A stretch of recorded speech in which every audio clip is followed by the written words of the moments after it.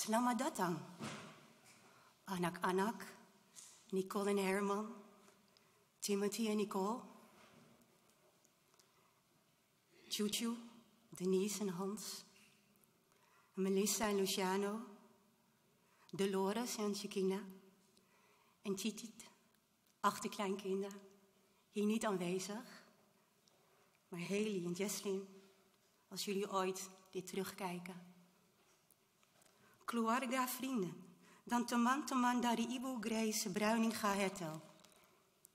Nama saya Angelique Shield. Ketua dari Perkempulang Kematjan, Salam Tenangier. Kewajiban saya meruskan hormatan Salam Tenangier. Teruntuk Ibu Grace Bruininga Hertel. Welkom, Nicola. Herman, Timothy en Nicole. Denise en Hans. Melissa en Luciano. Haley en Jesslyn. Dolores, Shekina. Familieleden, vrienden van Tante Grace. Mijn naam is Angelique Schild van Sanam Terrangier. Uitvaartverzorging. En ik zal deze laatste groet van een Indisch kind gaan begeleiden. En graag heet ik ook de belangstellenden welkom. Zij die van hun thuissituatie deze afscheidsceremonie via livestream volgen. Ook uw aanwezigheid vanuit uw eigen omgeving is van grote waarde. Niet fysiek, maar van hart tot hart. Hatti to hatti, met elkaar verbonden. Grace Bruininga Hertel. Volgens mij gaan de foto's hierachter nog door, of niet? Klopt dat? Oh, die mogen dan naar een stilstaande foto. Ja. Geboren op 6 juni 1937, voormalig Nederlands-Indië in Surabaya, en blies haar laatste adem uit op 8 augustus 2022 in Wijk bij Duurstede, in Ewoud en Elisabeth Gasthuis. En uit respect en eerbied is het een Indisch gewoonte, al zijn wij geen familie van elkaar, een oudere met oom of tante aan te spreken. En ik hou mij tijdens deze ceremonie ook aan onze adat, de Indische traditie, en spreek ik Grace aan met tante Grace.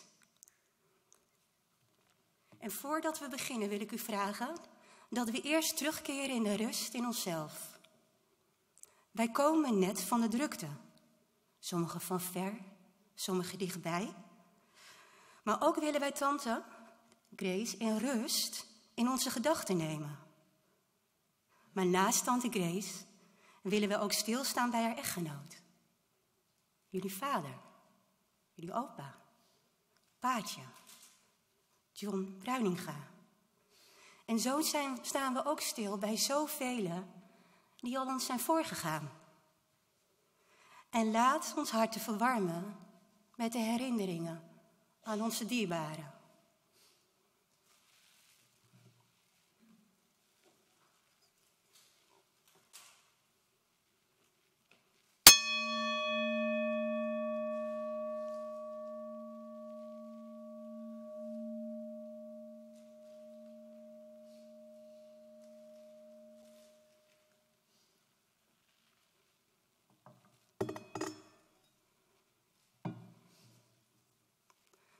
Een zaal gevuld met naaste dierbaren. En iedereen heeft op zijn of haar eigen unieke manier kleur gegeven aan het leven van tante Grace en van de familie. En wij zijn met elkaar verbonden omdat we troost nodig hebben. Of juist omdat we troost willen geven. Om gemis draaglijker te kunnen maken. Denise, Melissa en Dolores, mag ik jullie uitnodigen om het licht de kaars te ontsteken. Het licht van warmte en liefde.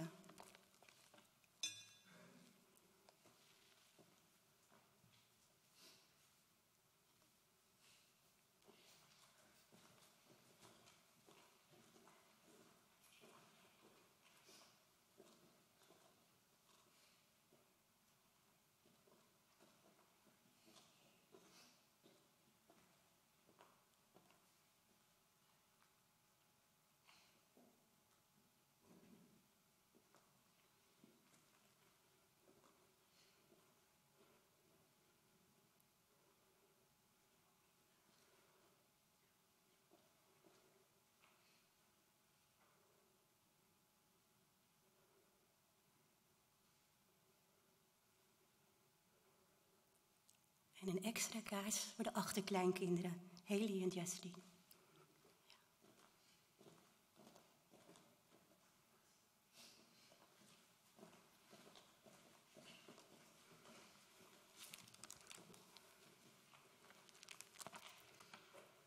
En deze kaarsen krijgen jullie mee, maar dat weten jullie.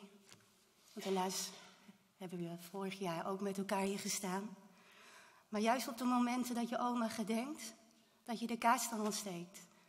En dat die gevoelens, de herinneringen, je hart mogen verwarmen. Lieve familie, je wilt het allerliefste je moeder, je oma, bij je houden.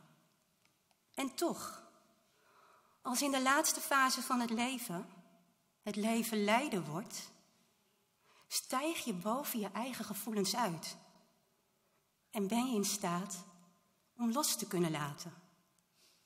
Voorzichtig en steeds meer te aanvaarden dat het moment komt dat je je geliefde overdraagt van deze zijde naar gene zijde. Van dit aardse bestaan naar een zorgeloos eeuwig leven. Maar tante Grace verloor haar kracht. Niet de kracht om nog verder te willen leven, maar de fysieke kracht om nog verder door kunnen gaan. Nicole, dochterlief van tante Grace en oom Paatje. Jij neemt ons mee in alle mooie herinneringen van, jouw moeder.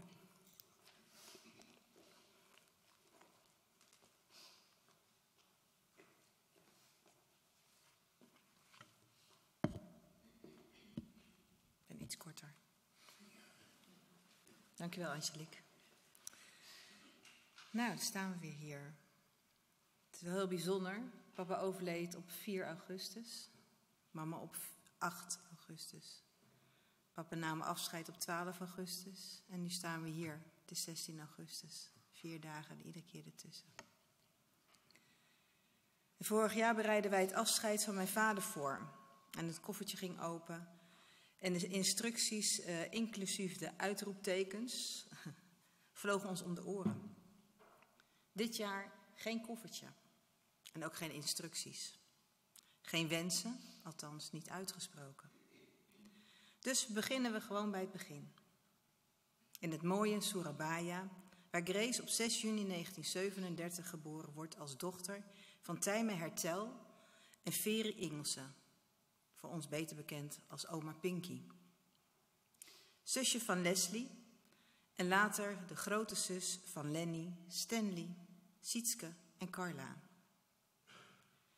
Ze was nog geen vijf jaar toen de Tweede Wereldoorlog uitbrak en al snel werd haar vader gevangen gezet en heeft hem helaas nooit meer gezien.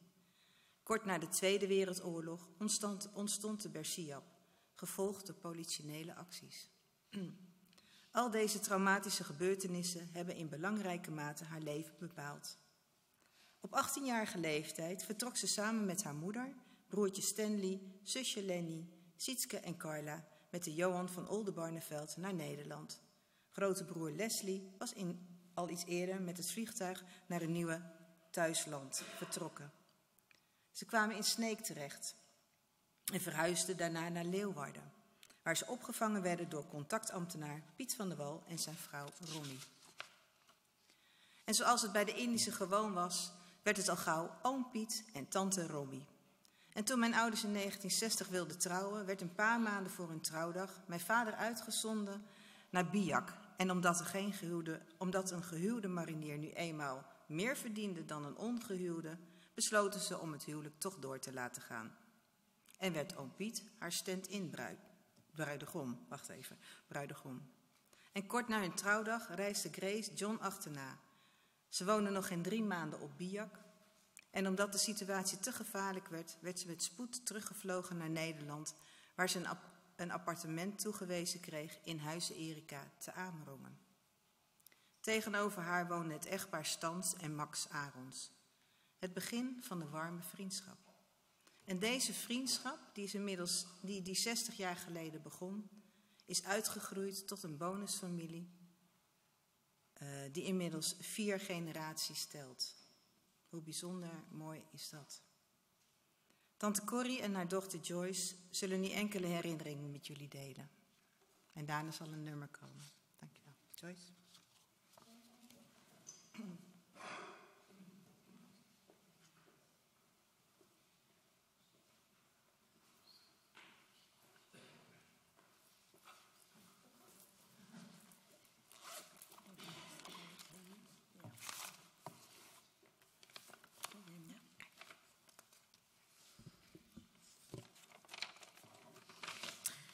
Wil jij misschien iets zeggen op het afscheid van mijn moeder?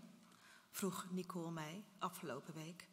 Wij beschouwen jullie tenslotte als een bonusfamilie. Ik vond het een hele eer dat ik deze vraag kreeg, in de eerste plaats. Tot ik iets langer het liet doorwerken, deed dit uh, uh, uh, verzoek en dacht: nee, dit is niet mijn plaats om hier te staan. Natuurlijk maakte de familie Bruininga met oom John en tante Grace een belangrijk deel uit van mijn kindertijd. Op feestjes bij ons thuis, bij tante Stans, bij oom Max, Arons, bij de familie Brown. Altijd waren ze daar aanwezig en hadden we heel veel lol met elkaar. Oom John was altijd standaard aan het kaarten bij ons op zolder. Een vastgegeven en vaste iconen waren die twee ook die een belangrijk deel uitmaakten van mijn veilig, veilige familienest. Dat nest wordt steeds leger, helaas. Met het wegvallen van mijn vader, al mijn tantes en ooms, vorig jaar oom John en nu tante Grace. Een laatste icoon is weg. Niet meer die heerlijke lach te kunnen horen, die ondeugende blik te kunnen zien, of de belangstelling te krijgen die ze altijd had voor je. Terugkomend op mijn plaats in deze vond ik, en ik vind het nog steeds, niet meer mijn plek, maar meer mijn moeders plek om iets ter afscheid te zeggen. Ten slotte kent zij de familie Bruininga en tante Krees nu al ruim 50 jaar. Als het niet langer is. Dus bedankt tante Krees dat, ik ook, dat u ook mijn bonustante was. Ik ga u heel erg missen.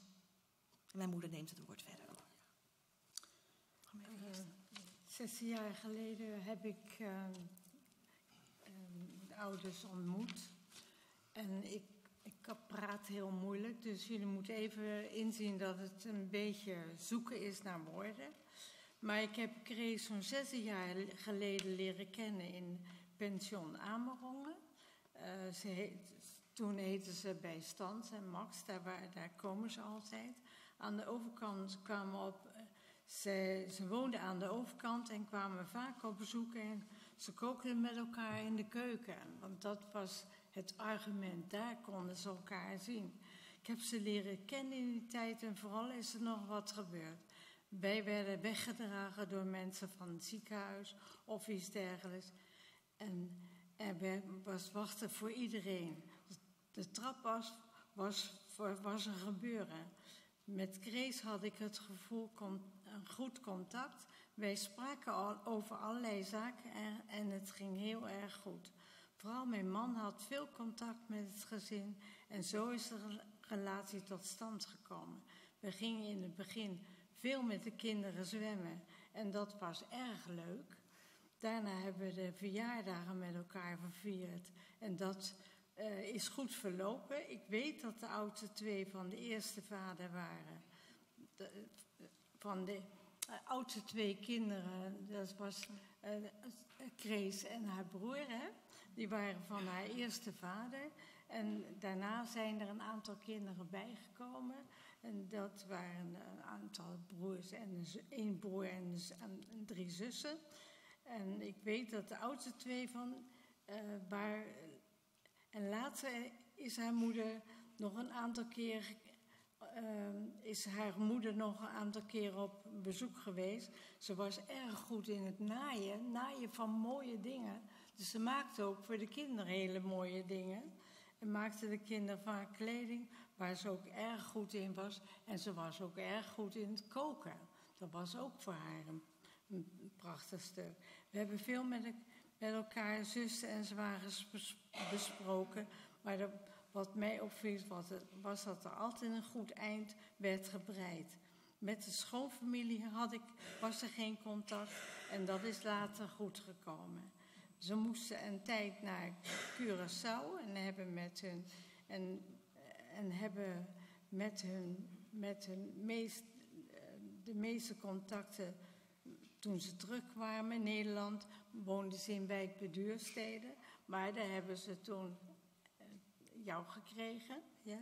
Ze gingen in, later naar Amerika en een maand, maand, of drie, maand of drie gingen ze daar op vakantie. Dat deden ze regelmatig. Maar de laatste vakantie ben ik met mijn man met hun meegegaan. En waren wij met z'n zessen op vakantie daar. En hadden we een waardevolle vakantie gehad. En ik wens haar een goede reis. Dat is het laatste といこで、ご視聴あました。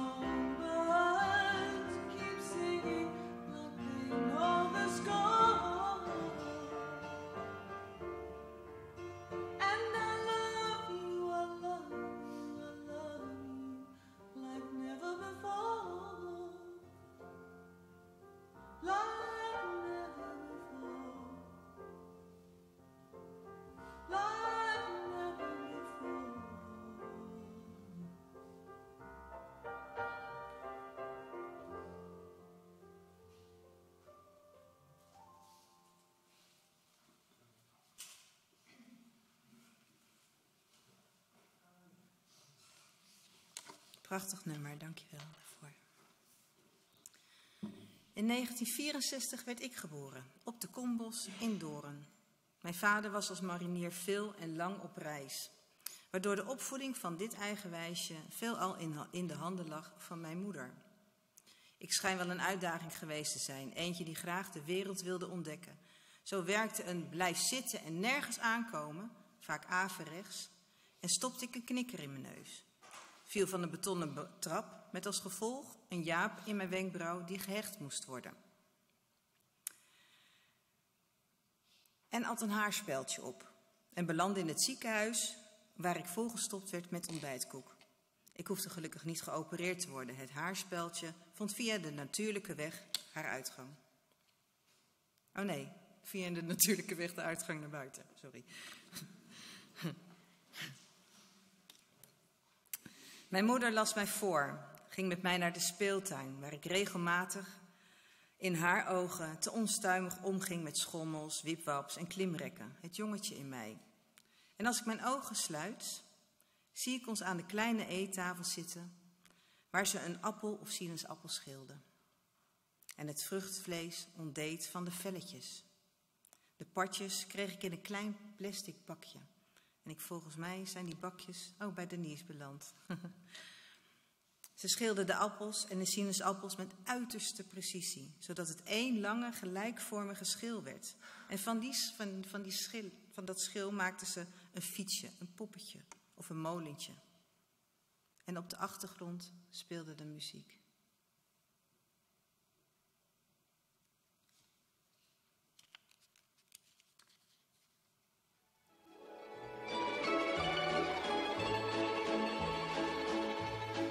When I was just a little girl, I asked my mother, What will I be?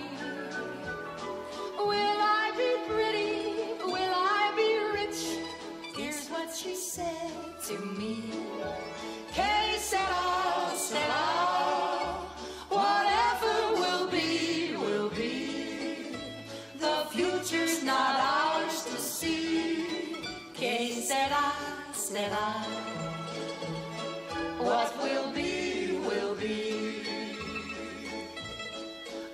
I grew up and fell in love, I asked my sweetheart what lies ahead. Will we have rainbows day after day? Here's what my sweetheart said. Que sera, sera. Whatever will be, will be. The future's not ours to see. Que sera, sera. What will be, will be. Now I have children of my own. They ask their mother, What will I be? Will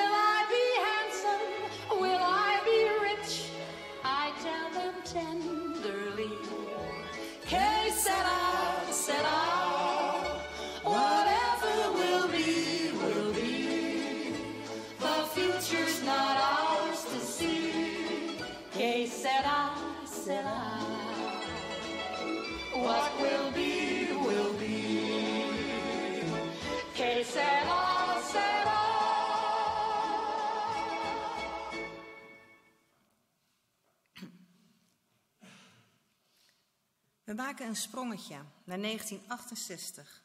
Mijn vader wordt uitgezonden naar Aruba, Midushi Aruba, waar nieuwe vriendschappen voor het leven werden geboren. Het verwarrende voor kinderen is dat iedereen die een keertje, een keertje is komen eten, een oom- of tantetitel kreeg. Met als gevolg dat ik vrij lang dacht, dat mijn wereld hoofdzakelijk uit familie bestond. Op zich een hele fijne gedachte. En zo leerden we oom Barney en tante Ali en hun dochters Siska en Rolien kennen. Maar ook oom Rick, tante Poppy, oma Dolf, tante Marta, oom Wim, tante Monique en hun dochter Francis. En acht vast nog wel veel meer, maar even vergeten, want zo ging dat namelijk. Oom Rick reageerde nog op een foto uit 1970 waar wij met onze ouders op stonden. Ja, Nicole, zo heb ik jullie gekend. En jullie waren gewoon een deel van de family. Samen met de Woltebeetjes en de Eckharts. Omdat ik paardrijles kreeg en naar ballet en zwemles, zwemles gebracht moest worden, besloot mijn moeder om haar rijbewijs te halen. Ze kreeg een paar rijlessen. Ja, een paar, want op Aruba kreeg je namelijk een rijbewijs bij een dat welbekende pakje boter. In Nederland heeft ze nog wel gereden, maar toen ze op twee wielen de berm inreed en vervolgens weer op het wegdek terecht kwam, heeft ze, ondanks dat mijn broertje riep: Nog een keertje, mama! De autosleutels aan de wiel gehangen. Achtervolgingswaan speelde haar parten. Ook weer een trauma opgelopen tijdens de oorlog. In 1969 wordt mijn broertje Timothy John geboren. Een blonde, stevige baby. En na een noodkreetbrief, nog een keer zien, aan mijn oma, kwam mijn oma, mijn oma Pinky een maandje of twee bij ons wonen. We kregen een vaste oppas, Benny Dobbelaar. Een jonge marinier die wel een centje bij wilde verdienen. En er ontstond, ook daar weer ontstond de vriendschap tussen mijn ouders en Benny. En ook al wonen Benny en Kathleen in Ierland, ze zijn elkaar nooit uit het oog verloren.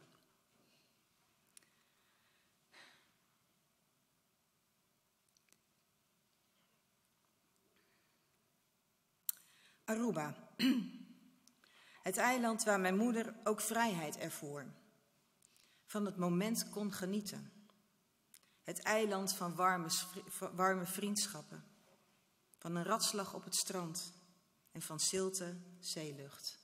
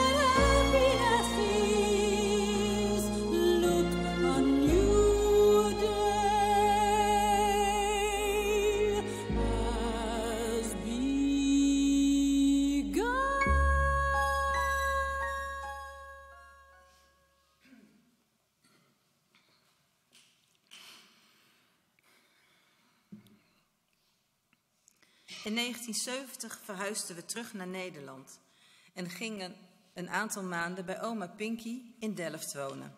Carla, haar jongste zusje, haar man Leo en de pasgeboren Jennifer woonden daar ook. Een huis vol. En het huis werd nog voller als mijn oma haar zussen, maar ook oma haar andere kinderen, inclusief kleinkinderen, op visite kwamen. Het kon allemaal. In 71 verhuisden we naar de Anskarstraat in Wijk bij. Een huis dat de komende 50 jaar haar thuis werd. Waar iedereen welkom was en waar, er altijd wat te eten viel, of beter gezegd, altijd een overvloed aan eten was. Wanneer je ook kwam. Haar voorraadkast puilde uit en nog voordat je helemaal binnen was, had je al wat te eten in je hand geduwd gekregen of had ze al diverse malen gevraagd of je iets te eten wilde. Een vraag die ze overigens ook stelde al, al- als je al aan het eten was. Het was de zoete inval. Tijdens de feestjes zat mijn moeder het liefst in haar keuken, in het hoekje, tegen de verwarming aan, genoot ze van een koffietje of een watertje. En hoewel ze rond 1960 nog niet echt goed kon koken, kan ik mij niet herinneren dat ik ooit niet lekker heb gegeten. Oké, behalve dan die zwarte soep, geloof rabon. Maar dat lag meer, ja, sorry, dat, maar dat lag meer aan mij. Haar nasi goreng daarentegen, daar mocht je mij voor wakker maken en zelfs ochtends smaakte die lekker.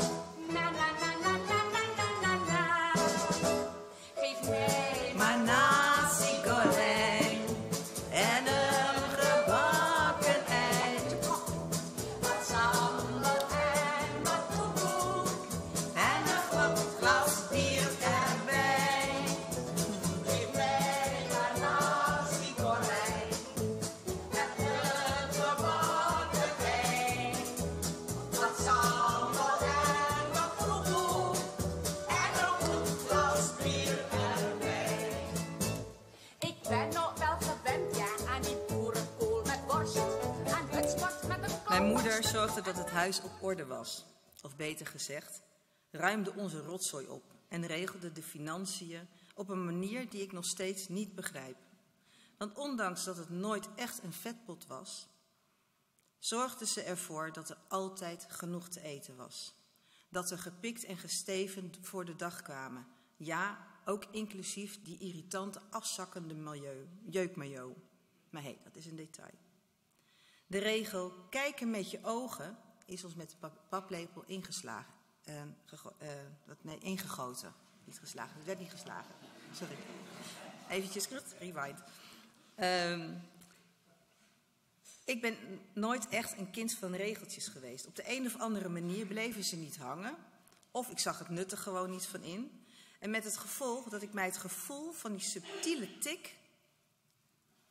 Wie herkent hem niet? Op mijn vingers of tegen mijn oorlel nog steeds heel helder voor de geest kan halen. Ach, we werden ouder en kwamen op het middelbaar terecht, waar ik regelmatig in conflict kwam met leerkrachten. En omdat ik eenmaal niet zo goed tegen inconsequent gedrag kwam, kwam ik op een zeker, om- zeker moment in conflict met de Franse leerkracht. Uiteindelijk trok ik, onterecht, aan het kortste eind. Werd de klas uitgestuurd en moest voor de zoveelste keer strafwerk schrijven. Ik ging boos naar huis en vertelde mijn moeder over het onrecht wat mij was aangedaan. Ze sprong echt letterlijk op de fiets en snelde weg. En ongeveer een uur later kwam ze behoorlijk oververhit hu- thuis. Nou, ik heb mijn moeder echt nooit zo rood gezien, geloof ik. Ze vertelde opgewonden dat ze de desbetreffende leerkracht even flink de waarheid had gezegd. Hij ontkende, waardoor ze nog bozer werd. totdat de directeur eindelijk tot haar doordrong dat dat niet de juiste leerkracht was. Oeps. Enfin, de jaren verstreken, we werden ouder en de puberteit nam bezit van ons. Maar ook rezen er bij mij vragen waarom mijn moeder was zoals ze was en deed zoals ze deed. Zo konden wij nooit tv kijken zonder dat ze door de kamer huppelde, wegschoot in de keuken of keihard floot om iemand op tv te waarschuwen. Sterker nog, er vloog zelfs een keer een slipper door de lucht die de tv knock-out sloeg. Oom Piet en tante Len kwamen toen niet veel later met een nieuwe tv aanzetten, een leuwe. Eentje met tiptoetsen. Super hip voor die tijd. Alleen de tiptoetsen waren zo gevoelig afgesteld dat zelfs de aanraking van een vlieg de, de, de, de tv van de ene zender naar de andere zender liet overspringen. Waardoor mijn moeder dus weer schrok en daar iets van vond. Wij vonden het ook een sport om vriendjes of vriendinnetjes tijdens het tv kijken naast mijn moeder zetten. En volgens mij hebben de kleindochters dat ook wel eens gedaan met een vriendje of vriendinnetje. Wel met het risico dat ze daarna niet meer met ons mee naar huis wilden. Pas decennia later begreep ik waar dat gedrag vandaan kwam. Later kom ik daar nog wel op terug. Rond 88 begon ze een thuiscateringbedrijfje en verblijde menig mens in wijkbeduursteden en omstreken met haar kookkunsten. Ook de buurman kreeg, het kreeg met regelmaat een bordje over de schutting aangereikt. En wij genoten ook mee. Er was altijd te veel. Door de jaren heen kwamen en gingen mensen. Je had de passanten en de mensen die vrienden voor het leven werden. Vriendschap is iets om te koesteren zonder het fijn te knijpen. Mark, Evelien, Tim, Marie, Jacomien, Rien, een aantal namen uit het wijkse. En als ik iemand vergeten ben, mea culpa, zou mijn vader zeggen. Henny Wieland uh, behoorde ook tot een vriendengroep en zal nu een woordje spreken.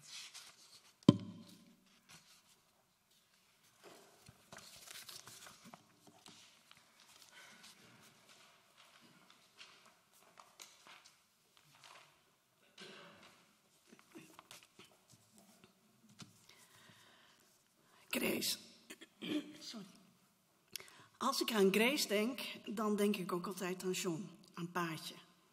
De laatste keer dat Paatje bij mij op visite was, nog niet zo lang geleden voor zijn overlijden, hebben we over Grace gesproken. Dat hij zich ernstig zorgen maakte en hij moest huilen. Ik heb toen met hem ook over mijn ouders gesproken, met name over mijn moeder. Mijn moeder was eigenlijk al een hele tijd aan het dementeren. Sorry. Mijn vader heeft nooit echt met ons erover gesproken. Hij zorgde gewoon voor haar. En dat was de rol die John ook voor Grace vervulde, zo goed en kwaad als het ging af en toe. Ik ging regelmatig bij John en Grace op bezoek en dan bakte ik altijd wat. Ze hebben me nooit verteld dat Grace allergisch was voor eieren. Nicole vertelde het mij een paar dagen geleden. Dat is toch zo schattig, hè? Uh, Grace en John zijn net als mijn ouders en vele andere mensen uit Indonesië met een rugzak naar Nederland gekomen. Weggerukt uit je omgeving. Naar een ander land met andere gewoontes. En ondervinden dat afspraken niet nagekomen worden en beloftes verbroken, niet vervuld. Maar dat is een ander verhaal. Mijn moeder heeft nooit over het verleden gesproken. Kon dat niet en heeft op latere leeftijd therapie gehad.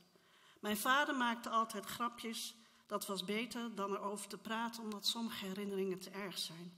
Mijn vader en paatje lijken echt heel veel op elkaar. Bij veel ouderen om ons heen heeft het dan ook veel invloed gehad op de rest van hun verdere leven. En in zekere mate ook op ons, hun kinderen. Samen met Nicole heb ik nog niet zo lang geleden Grace bezocht en ik schrok. Ze zei: Dag mevrouw, toen ik binnenkwam. En dat was het eigenlijk wel. We kwamen niet aan een gesprek toe. Misschien is het wel zo dat als mensen zo lang bij elkaar zijn, ze niet meer zonder elkaar kunnen. Of misschien is de vergetelheid wel fijn, want dan weet je al die nare dingen niet meer. Het is echter wel een dingetje voor de mensen die om hen heen staan. Dan is er geen herkenning meer en geen verbintenis. Het samen zijn wordt dan zorgen voor Kijken of alles in orde is, of ze nog wat nodig hebben. En accepteren dat je moeder je moeder niet meer is en dat de rollen zijn omgedraaid. Als dan de tijd gekomen is dat we afscheid van elkaar moeten nemen, dan is het misschien ook wel goed zo. Hoe verdrietig het ook is. Lieve Grace, slammet je land en geef paatje een dikke, dikke kus voor mij als je me ziet. En Nicole, Herman, Tim, Tim, Nicole, kinderen en verder familie en vrienden, ik wens jullie heel veel sterkte bij dit verlies. Dankjewel.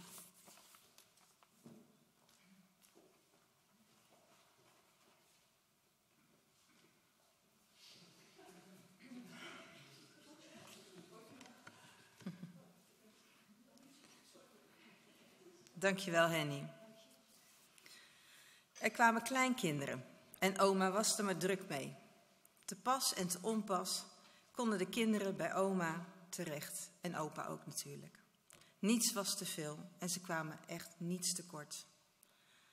Zelfs een tweelingbroertje of zusje, voor Kala dacht ik, maar het is Carla, de knuffel van Dolores, werd in de woonkamer gelegd. Dolores zal een woordje richten tot oma en herdenkt haar oma met het nummer hier van Miss Montreal.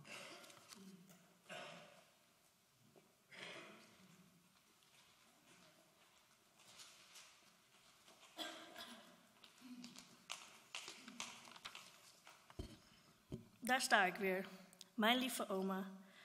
Dag oma, nu nemen we echt afscheid van je. Al een aantal jaren heb ik langzaam afscheid van je genomen. Maar nu is het dan echt. Doet u oma, opa voor mij een dikke knuffel? En geen lel geven? Al een aantal jaren heeft de mensen u overgenomen en wist u langzaam niks meer. De tijd was moeilijk om niet meer de leuke dingen te kunnen doen die we graag deden. Samen winkelen of ergens eten deden we graag. Weet je wat ik nou het meest mist? Dat u altijd in de keuken stond. Ik was zo blij als we bij opa en oma gingen eten. Ik hoop dat u nu uw rust heeft gevonden en weer één wordt met uw geest. Ik hoop dat u mij herinnert zoals ik u altijd zou herinneren. Ik hoop dat u trots op me bent. En ik zal u weer opa.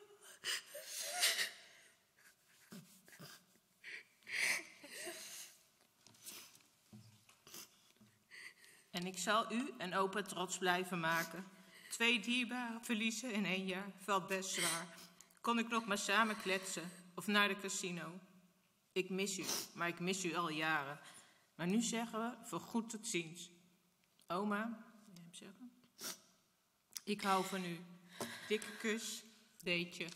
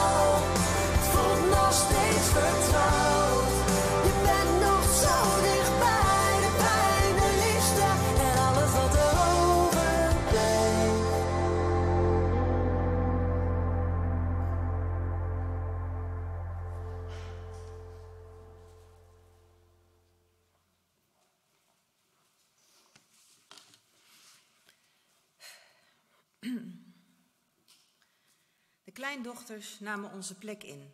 Ze kregen de volle aandacht. En wij? Ach, we stonden erbij en er keken ernaar. Opa en oma werden hun vaste oppas en brachten en haalden de meiden van school, gaven ze te eten en deden spelletjes met ze.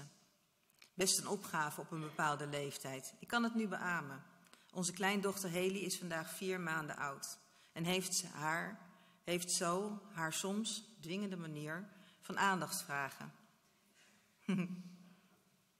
Jesslyn van vier jaar zit in haar onvermoeibare waarom-fase. Ik begrijp en voel nu dat houden van soms zomaar helemaal vanzelf gaat. Maar ook wel de vermoeidheid als de meisjes weer weg zijn. Een herinnering aan oma. Melissa was vier jaar en oma zou haar die dag naar school toe brengen. Ze kreeg een jurkje aan, haartjes netjes in staartjes, want die dag zou de schoolfotograaf komen.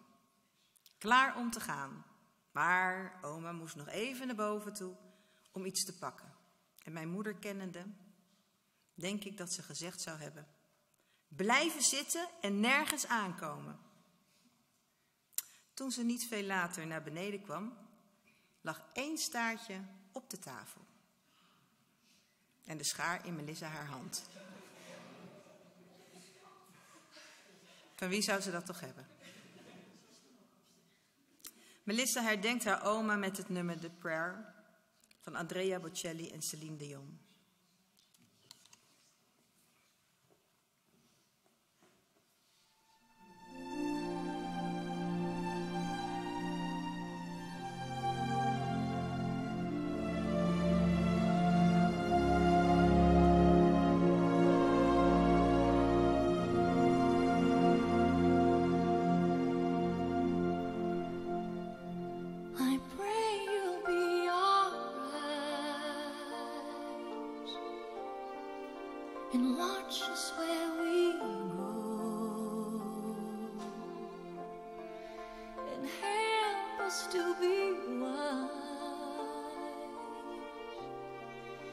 In times when we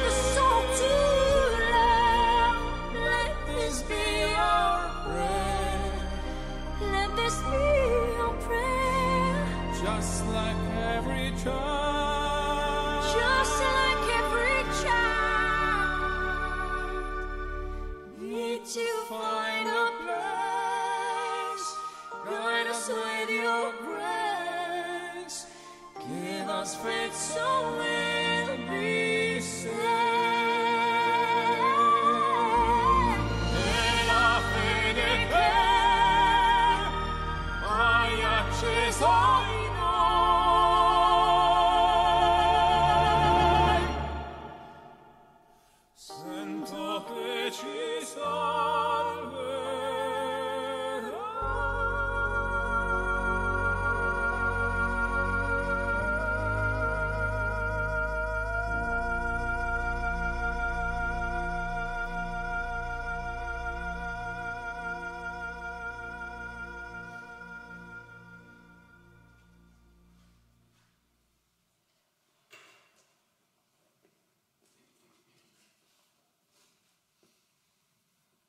Er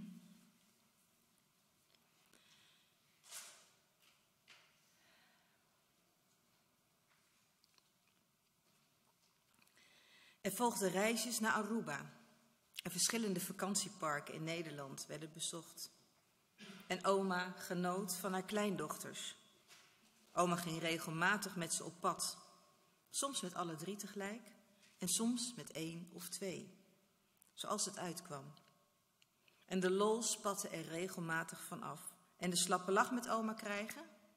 Nou, kostte weinig moeite. Onderweg werden ze al verwend door oma. En bij het weggaan duwde oma altijd een in elkaar gevouwen briefje van 10 of 20 euro in hun hand. Maar wel met, nadrukkelijke, met het nadrukkelijke verzoek dat niet aan opa te vermelden. Denise zal nu een woordje richten tot oma en haar, herdenkt haar oma met het nummer Allegria.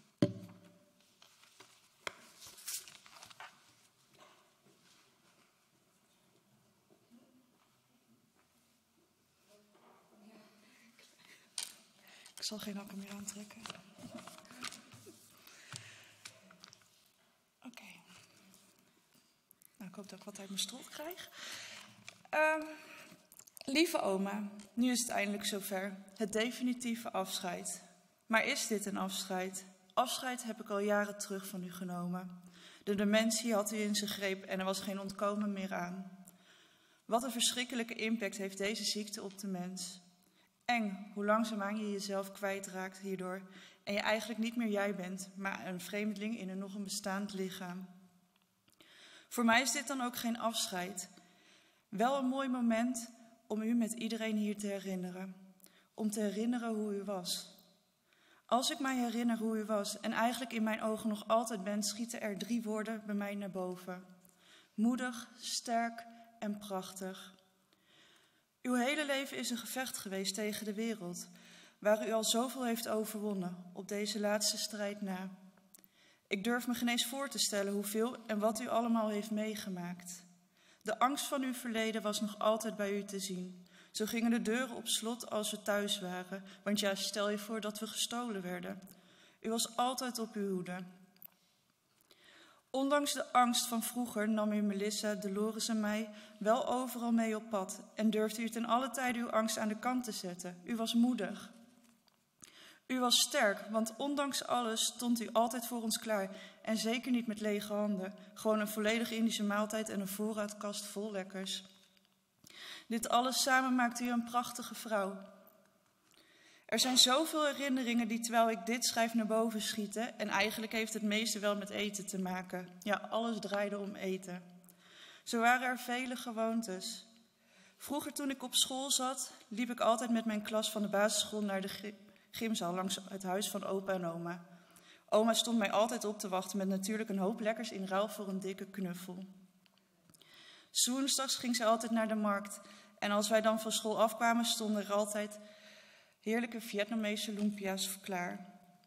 Wat ook echt typisch oma was, was dat zij altijd bang was dat als je na wat snacks, een tafel vol met Indisch eten, ijs en daarna nog wat spekkoek of zo, naar huis ging met een lege maag.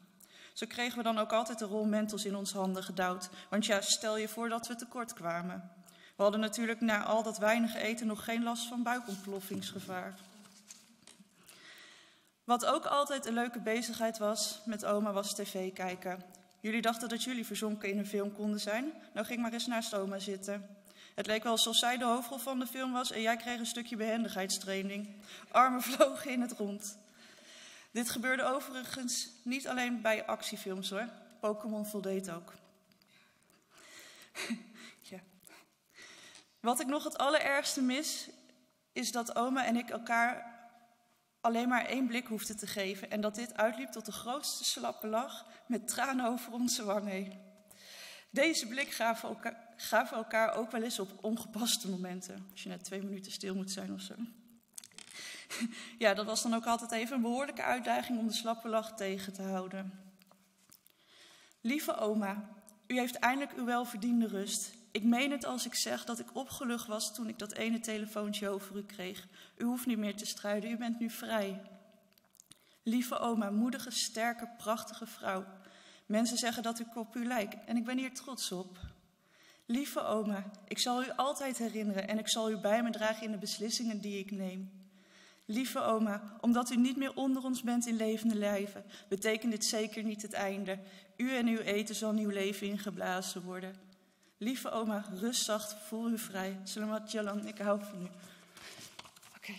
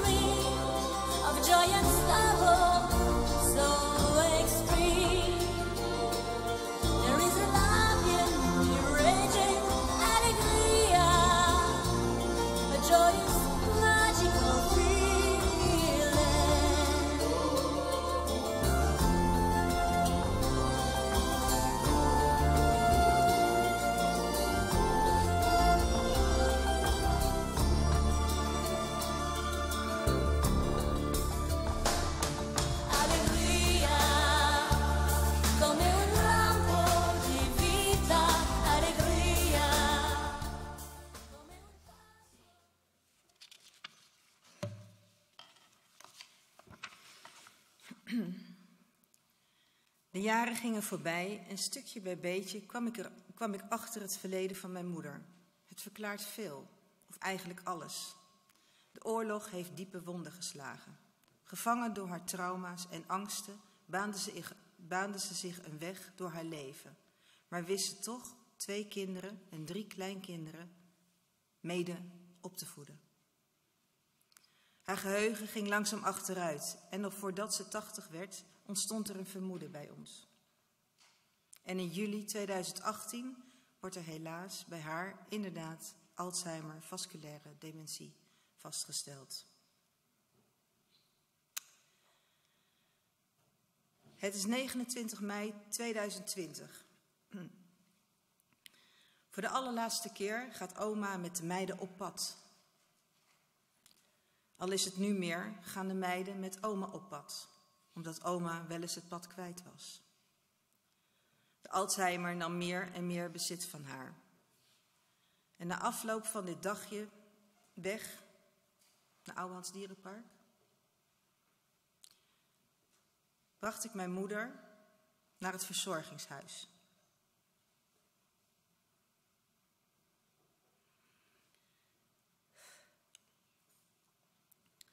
Waar ze afgelopen maandag, 8 augustus, rustig in slaap is gevallen en vergoed naar huis is vertrokken.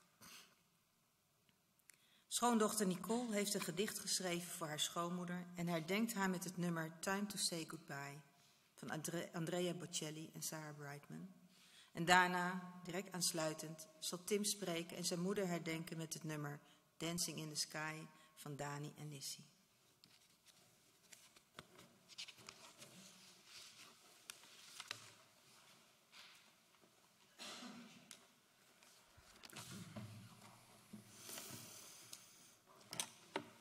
Vorig jaar op 12-8-2021 stonden we hier voor de uitvaart van pa. En nu, een jaar en een paar dagen later, staan we hier weer voor de uitvaart van u, ma. Dag ma, 8-8-2022 bent u heen gegaan. Maar het is goed zo. Al die jaren, vol verhalen, het lief, het leed, het heerlijke koken, het leven. U zorgde, u luisterde, u hebt veel geleden en u hebt veel gegeven. Al die jaren, zoveel mensen om u heen, ze waren er voor u en gingen in uw leven mee. En toen sloeg de dementie toe. We raakten u langzaamaan kwijt. Uw lichaam was er nog, maar uw geest raakte verloren in de tijd. Afscheid werd er stukje bij beetje al genomen. En dan nu, na al die jaren, op een drempel in de tijd, brak er een nieuw stukje aan. Tijd om los te laten, tijd om te laten gaan. Maar het is goed zo. Het was tijd om de reis te gaan maken naar uw dierbaren, die u met open armen ontvingen. Heb het goed daar en kijk met trots en dankbaarheid naar wat u achterliet. U zult gemist worden, maar het is goed zo. Dag ma, rust zacht. Dank voor alles en veel liefs.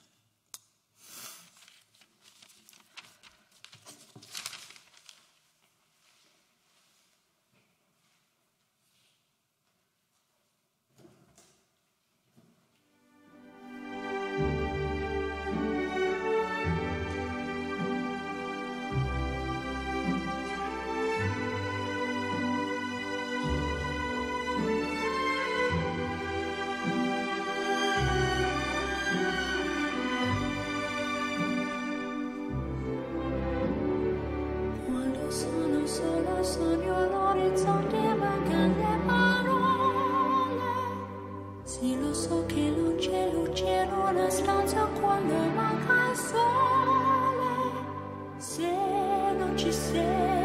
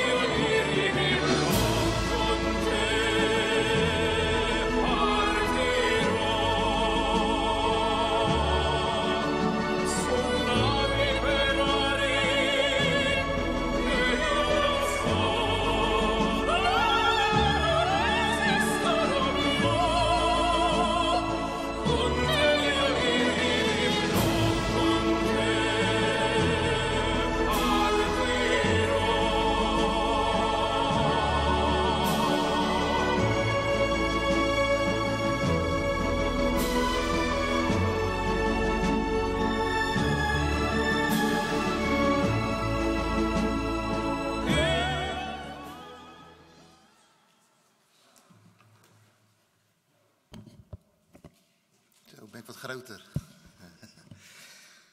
Goedendag, welkom. Dank u wel voor uw komst. Goed. Verleden jaar had ik een eh post-itje met mijn tekst erop.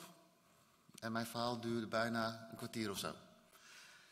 Nu heb ik het opgeschreven, dus kan ik het wat korter houden. ja, pa nam ik graag mee naar de karate. Maar liever niet. Ze was een persoon die in elkaar sloeg als het Tom en Jerry aan het kijken was. Nou, we hebben net al van Denise en van Nicole al gehoord hoe Ma was. En dan zou ik Ma meenemen naar de karate. Nou, ik denk dat ze met, de met de toeschouwers naast haar aan het vechten is. Of eh, eh, de mat opliep en mij aan de kant eh, duwde en zegt, waarom sla je mijn zoon? En ze gaat zelf eh tekeer. Nee, nee maar, die, maar die vond het dansen van mij wel leuk. Zegt ze, ga je weer tandakken? Ik zei, ja maar, dan ga ik weer staan, dan ga ik weer electric boogie doen. En dat vond ze allemaal leuk. Glimlach. De laatste jaren eh, ben ik aan het, rolskuit, eh, aan het rolschaatsen. En dat was in de periode dat Ma dementerend, aan het dementeren was. Ik liet mijn skatefilmpjes zien en ik ging dan of in de tuin skaten. Je zag een glimlach op haar gezicht verschijnen. Nu sta ik hier, nou, voor, na, naast je. En ik hoop, je, hoop dat je deze laatste dans, die ik voor je doe, zie. Dans met me mee in the sky. Slamaja- Slamajalang Ibu. Find your peace. Aku cinta kuma. Maar deze is voor jou. De laatste dans. Tell me what does it look like in heaven? Is it peaceful? Is it free like they say? Does the sun shine bright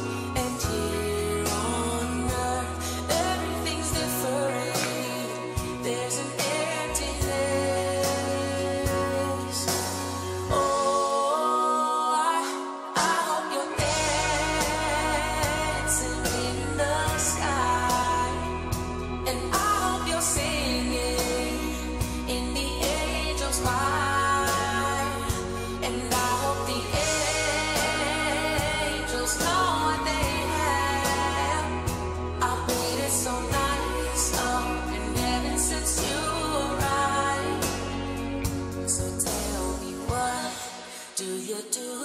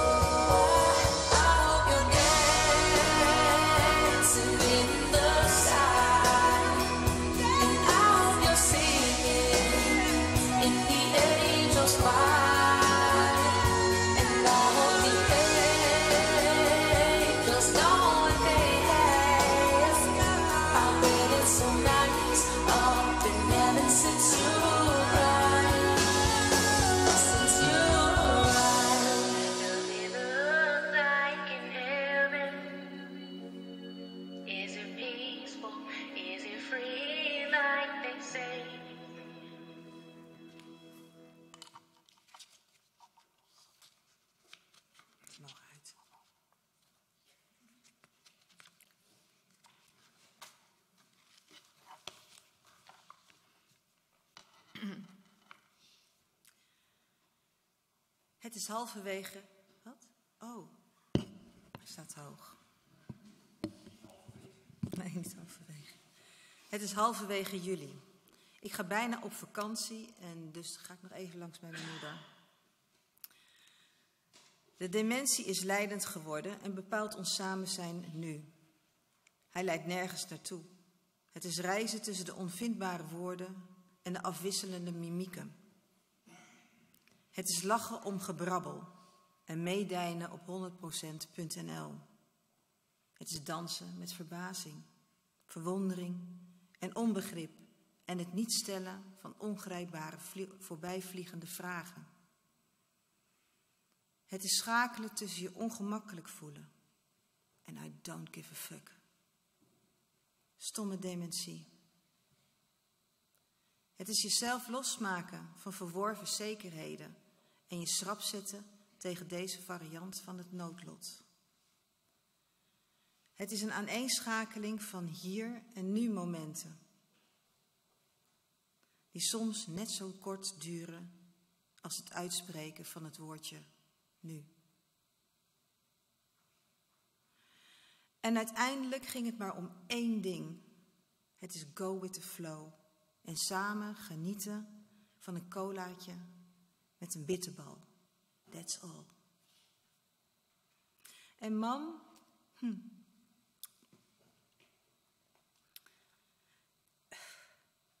ik realiseer me nu dat dit ons laatste colaatje met een bitterbalmoment was.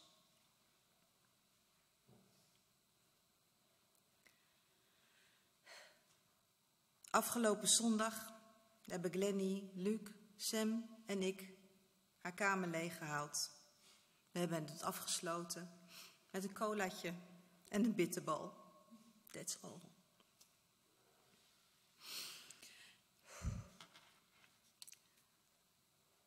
Dag mam, vlieg met geheel de vleugels. Dag mam, heb lief met een geheeld hart. Dag mam, adem zonder het stokt. Dag mam, je bent vrij, zonder ballast. Dag mam, ik laat je los in liefde. Dag mam, dank je wel dat je er was, bent en altijd zult zijn.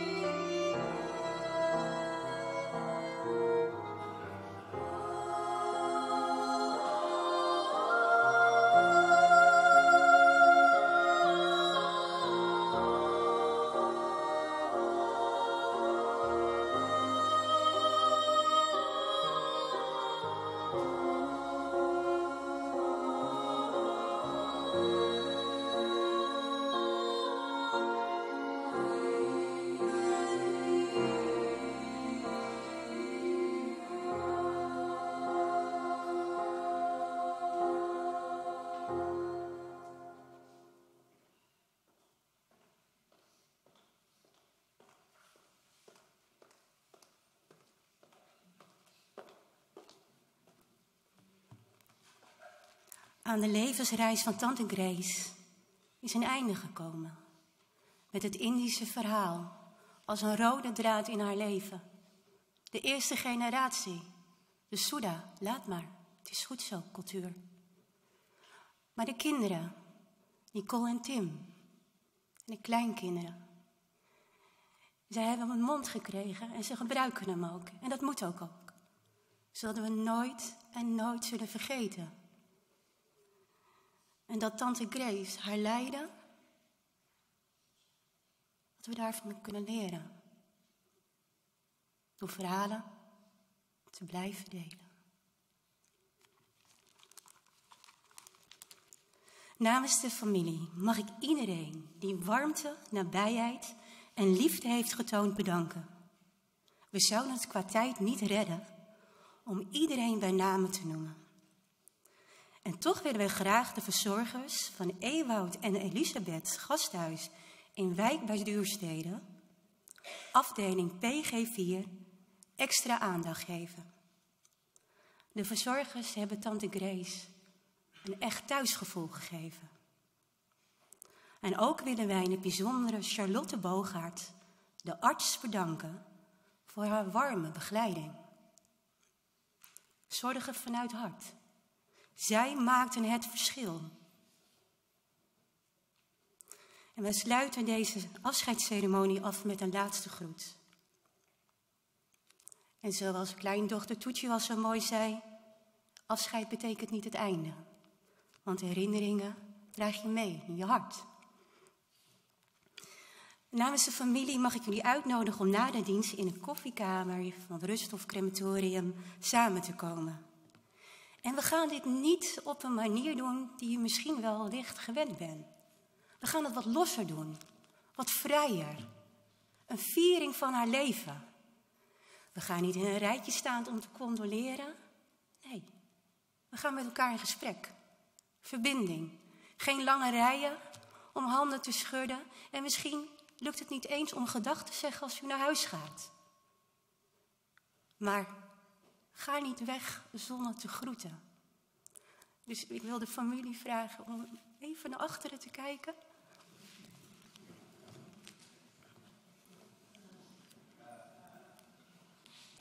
Iedereen is gegroet. Ja, heel goed. We gaan nu een stilte moment met elkaar in acht nemen. En in stilte kan iedereen zijn eigen gedachten en herinnering een plaats geven. Ik wil u vragen, als het mogelijk is, om daarbij te gaan staan. Na het stiltemoment ga ik voor. Nou, u mag staan. Ja. Na het stiltemoment ga ik u voor om de laatste eer te bewijzen. En om de doorloop goed te verlopen, wil ik u vragen om echt door te lopen. Dat is kort en krachtig, denk ik ook wel. Ja. Mijn collega van het crematorium ontvangt u hier achterop, want we gaan met elkaar een erehaag vormen. Voor de mensen hieronder u die uh, minder goed te voet zijn, ja, dan zou ik zeggen, gaat u alvast Indische hapjes eten. Want oom Rob heeft echt zijn best gedaan vandaag weer. Alweer, hè? Alweer. Ja. In vrede. In vrede. In vrede. In vrede. Die alle begrip te boven gaat. Spreken we haar naam met liefde en met eerbied uit. Grace Bruininga Hertel.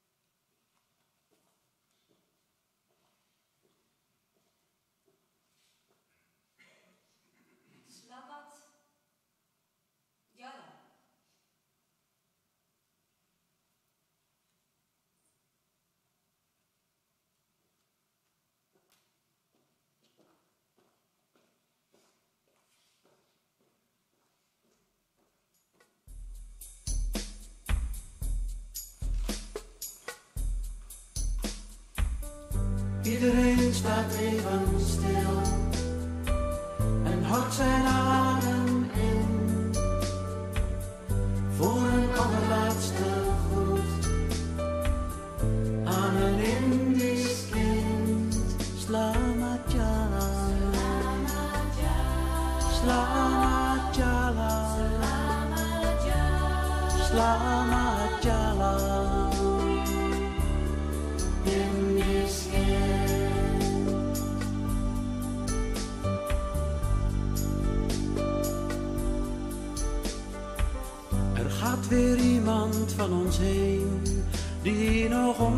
de waringin heeft gelegen, op wie de tropenzon nog scheen, maar die daar is verdreven.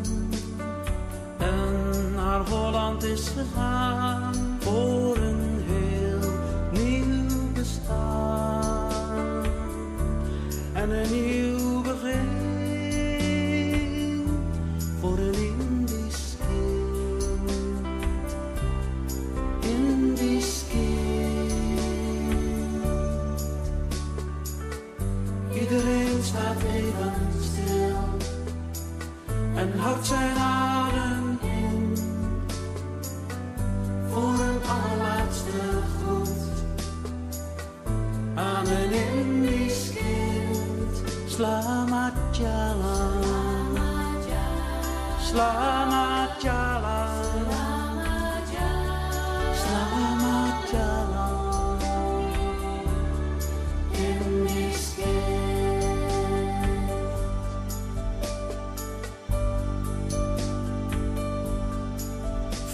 vandaag is alles anders. Vanaf vandaag is er verschil.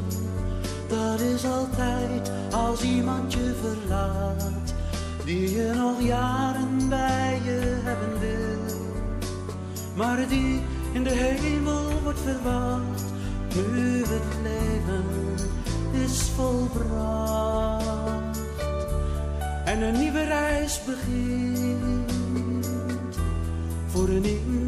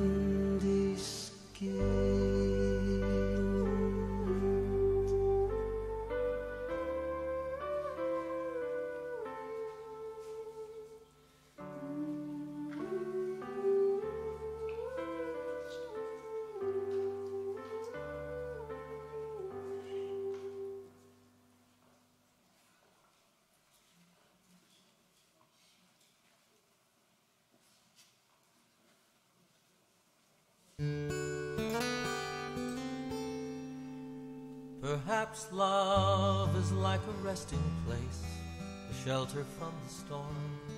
It exists to give you comfort, it is there to keep you warm. And in those times of trouble, when you are most alone, the memory of love will bring you home. Perhaps love is like a window, perhaps an open door. It invites you to come closer. It wants to show you more.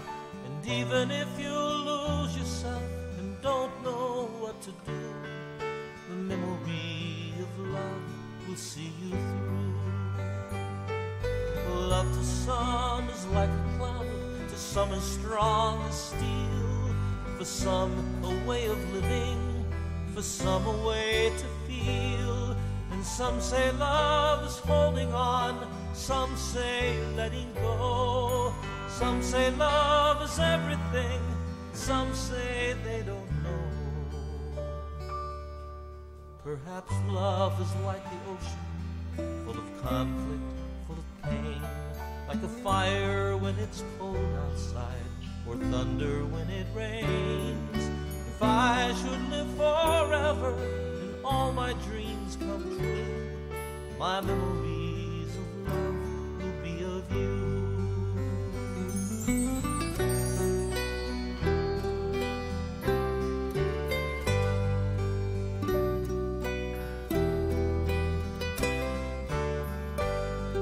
And some say love is holding on, some say letting go. Some say love is everything, some say they don't know. Perhaps love is like the mountains, full of conflict, full of change, like a fire when it's cold outside, or thunder when it rains. If I should live forever and all my dreams come true, my memories